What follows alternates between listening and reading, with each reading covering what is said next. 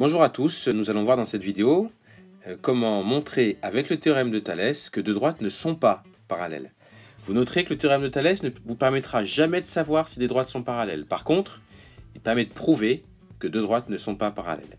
Voilà l'exemple que vous avez, euh, une figure configuration du théorème de Thalès. On a deux droites séquentes, VR et TS. On a deux droites, TV et RS, et on veut prouver qu'elles ne sont pas parallèles. Alors comment on va faire?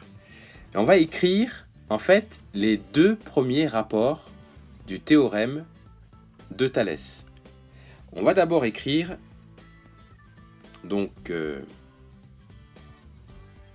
comme les droites TS et RV sont séquentes, on peut écrire OT sur OS, donc OT sur OS, et on va calculer combien ça fait. Ça fait 7,5 sur 18.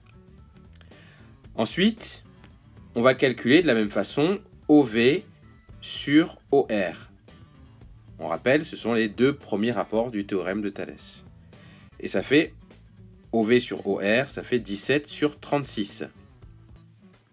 Alors ensuite, pour pouvoir comparer ces deux fractions, on va les mettre, enfin les deux fractions qui sont ici, on va les mettre au même dénominateur. Donc 7,5 sur 18, sont multipliés par 2, ça fait 15 sur 36. Qu'est-ce qu'on constate? 15 sur 36, ce n'est pas égal à 17 sur 36. Ce qui signifie que ce premier rapport n'est pas égal à ce deuxième rapport. C'est ce que j'ai écrit ici.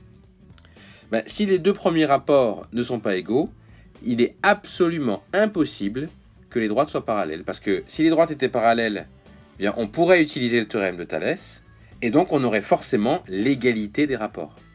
Dans la mesure où les rapports ne sont pas égaux, on peut conclure sans crainte de se tromper que d'après le théorème de Thalès, les droites TV et RS ne sont pas parallèles.